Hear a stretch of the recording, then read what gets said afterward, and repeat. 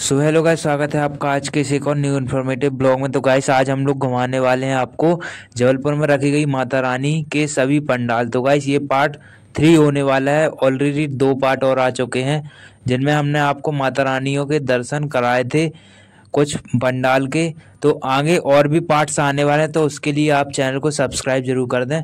तो चलिए गाइस बिना किसी देरी के स्टार्ट करते हैं आज के इस ब्लॉग को।